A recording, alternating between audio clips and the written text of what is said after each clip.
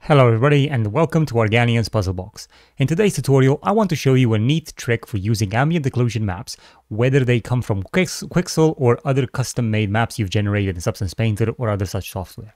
Now, if you've been using Unreal Engine 5 for a while, you might already know that ambient occlusion isn't fully supported out of the box when using Lumen, unless you've seen my previous tutorial where I explain how to enable scene ambient occlusion using a post-process material and a few console commands, you're probably missing that extra shadowing detail in your project. Just make sure you watch that video, it's uh, linked in the description below.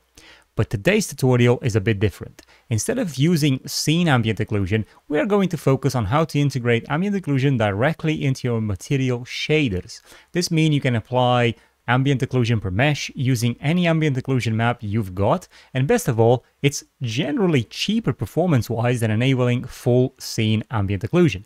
It's a powerful trick that adds depth and realism to your assets without the overhead of full ambient occlusion. Um, God, I think I've said ambient occlusion like 50 times now. anyway, with that said, let's jump right in. So here I am in an example scene that I'm going to show you on the ambient occlusion and how it works. I'm just moving around for the scene and this texture and that texture, there's two textures in here, are just part of this landscape. So one interesting thing that we can do here if we come out of the material is that I can actually play around with some settings and enable and enable ambient occlusion. So if I look over here, I do actually have this setting which will allow me to add ambient occlusion right there as you can see. Now obviously that's a bit too strong. So you know maybe I mean this is this would be without any ambient occlusion. So if I take in the um, ambient occlusion contrast intensity to zero, that's how the material would look like. But if I add just a little bit of contrast here and then improve the ambient occlusion by one or two or something like that, you can already see that it's adding quite a bit of depth to the scene uh, where none would have been there uh, before. So uh, people traditionally would very quickly create a sort of like material, I'll show you here. Uh, so they will go into a material and, you know, we're just going to call this M test and I'm going to open it just to showcase what they'll usually do. Um, they will have a look at this material and will say, right, I've got a base color that goes in here, then I've got uh, roughness, metallic, anisotropic, whatever, and I've also got an ambient occlusion. So let me just actually go and bring in a Megascan just to show you the example here. Uh, so this is a texture, for example, and this texture currently is set up to linear grayscale. We can actually, normally you'd get it in as uh, masks, most likely. This is what it would be the actual texture. So I'm just going to open it. If I, you know, when you import it from Quixel, it might just come in as masks, something like this, right? And if you go at the RGB level in here, you'll notice that R stands for occlusion, G stands for roughness, and B stands for uh, displacement. Okay, that's great. So we're interested in the R channel, which is the ambient occlusion. So normally what people would do with this texture over here, they would just take the ambient occlusion and drop it in there like that, and this would put the roughness in here, and then this B value would put it over into the displacement, or something of that sort of level, right? And what would happen, you know, if we take this material, let's say we go back into the world here, and we're just going to quickly go to the shapes and add a plane. Okay, we're just going to put this plane somewhere where we can see it, and then I'm going to drop this new material that we created right onto this plane. Uh, let me just find the slot in here Oh, it's a bit higher up, right? So I've just put that material onto this. Now there's nothing really to display because if we go back into the material, we don't really have any base color or anything like that. And I didn't even press apply to load up these maps. But if I do press apply, we'll be able to see something. Now here's the interesting thing. If I go back into the material and I take the roughness out and I take the displacement out and press, press apply, go back into the demo, you can see there's nothing there and there's no real way to see this, right? There's no, you can't make it show up unless you've done what I've told you in a previous tutorial, but even then it's still, you know, spotty. But what we can do is we can fake the ambient occlusion by tying it in to the base color over here. So I'm going to show you how to do just that in order for you to get a nice sort of control, right? Now, one thing that I do have is I've got these, um, I've, got, these materials, like a material function, uh, which is MFAO. So if I drop this in, right, and let's just say the map here for ambient occlusion would go over into here, and this would go into the output, would go into the base color, Now we do need a base color in here, so I'm just going to go back into that mega scans just to get this particular uh, base color. So this is what this is the this is it here, and I'm gonna drop the RGB, and now it's expecting some intensities here. So if I just put in two values very quickly, uh, like that. And maybe I'll put this to a value of 1.5 and the contrast to a value of 0.4 or something like that right? If I press apply now we are getting the ambient occlusion right over here onto the um, basic on the base color right? Um, and this is very interesting because and I'll show you why um what I'm saying is very interesting it's because if we then change this value to like a 3 and press apply now we can see that the ambient occlusion is further affecting the texture. So obviously this is an extreme example. You wouldn't want to do this specifically, but this kind of shows you just how you're adding that fake ambient occlusion very quickly. So I'll show you how to create that material function and then you can use it for yourself.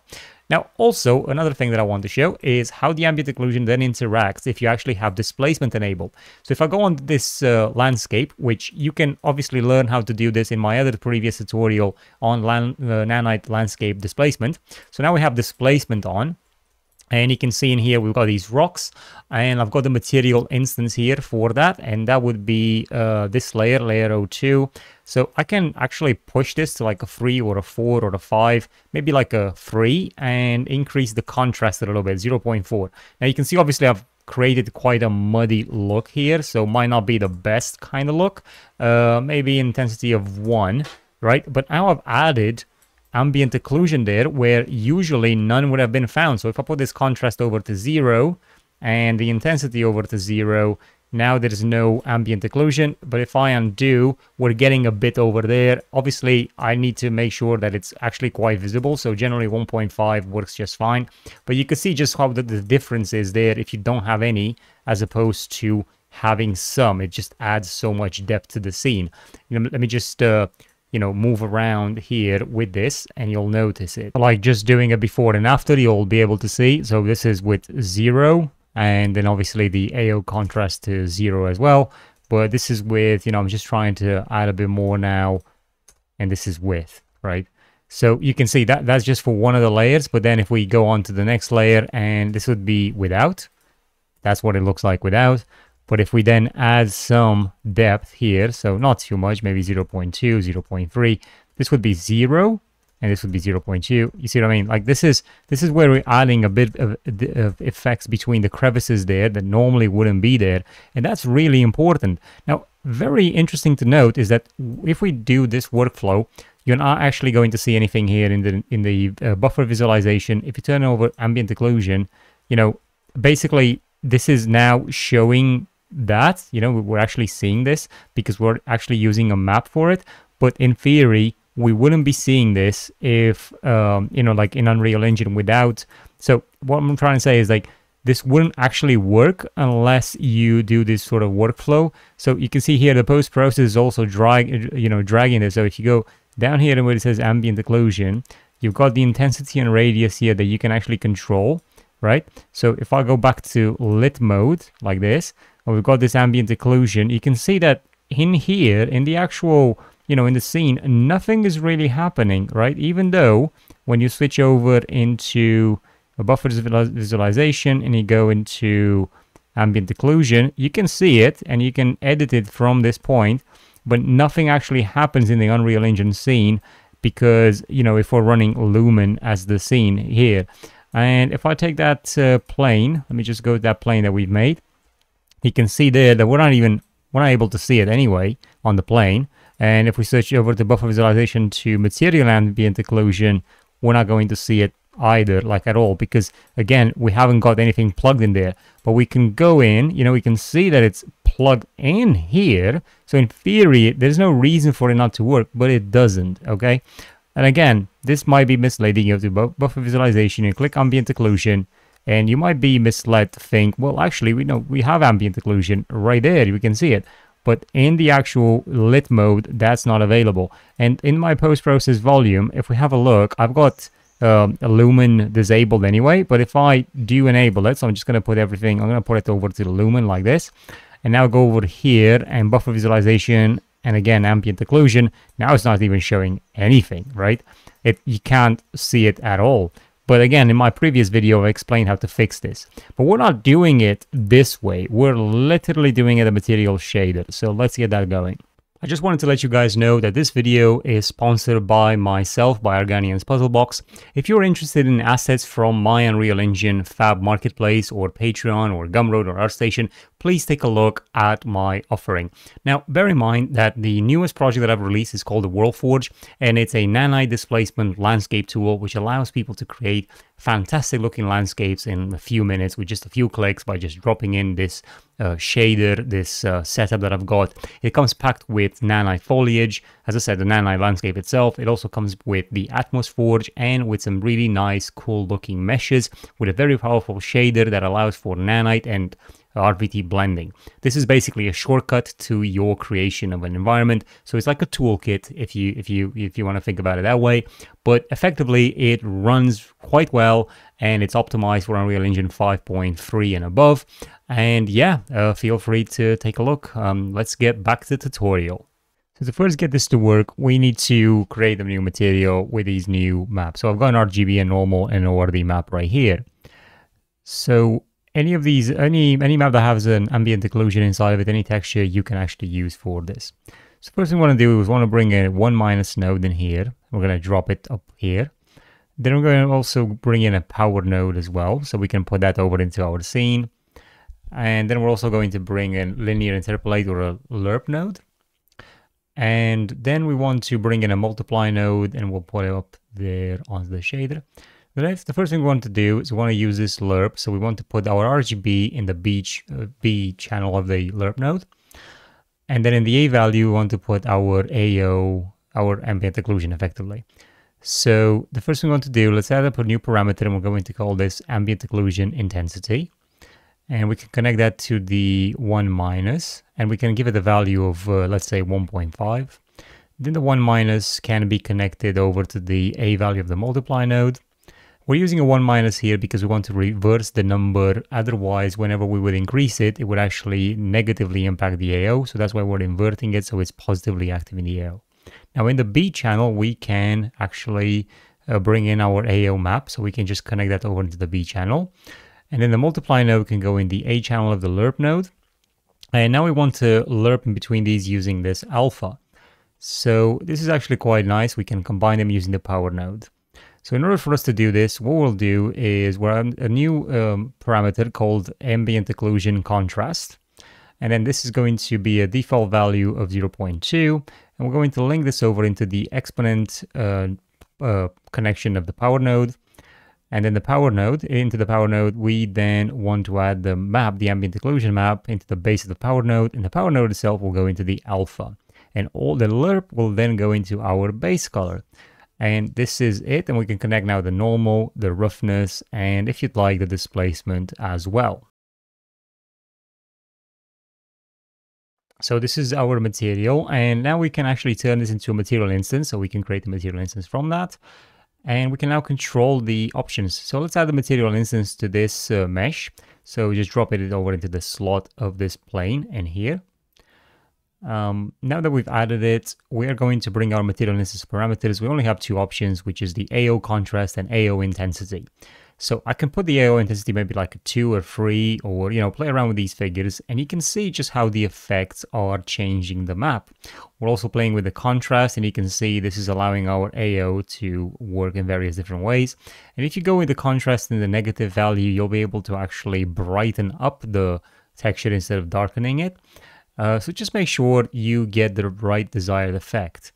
Now, bear in mind that any value of the AO intensity that's uh, below 1 is probably going to affect the AO differently. So anything above 1 will actually affect the AO properly.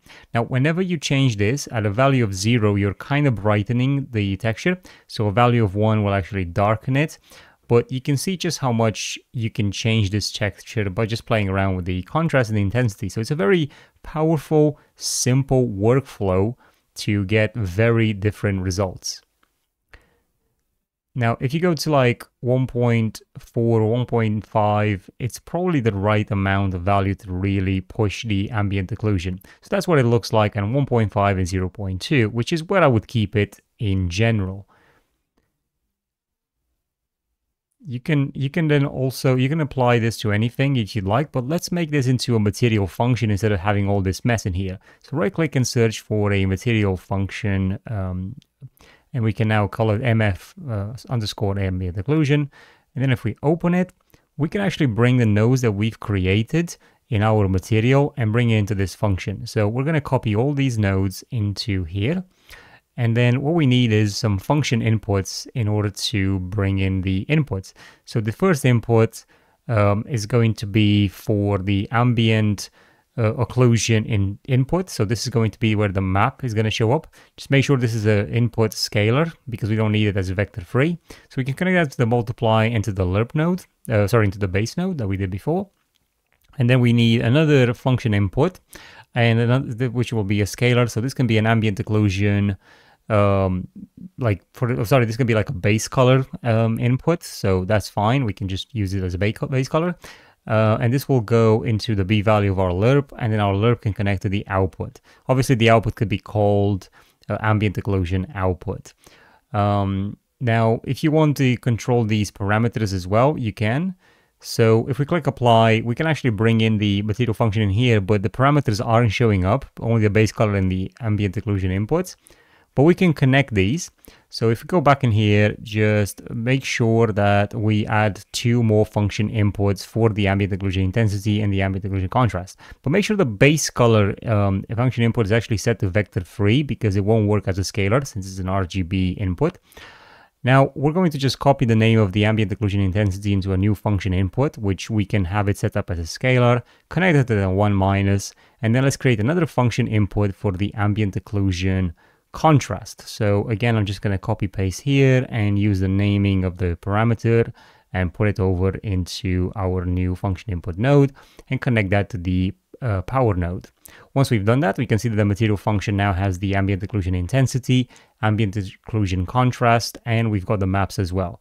So I can just connect these and then just connect them over to the base color. And this is really what we're doing, and that should give us the effect that we're looking for. And now we have a, a cleaner setup to actually play with with a material function. But I hope you guys enjoyed that tutorial and that was very helpful for you. Uh, please feel free to have a look at my Patreon and my Fab Marketplace if you're interested in any assets from me. Um, as always, you're welcome to the Discord server as well. Thank you for watching and supporting the channel. I'll see you guys in the next video. Keep creating.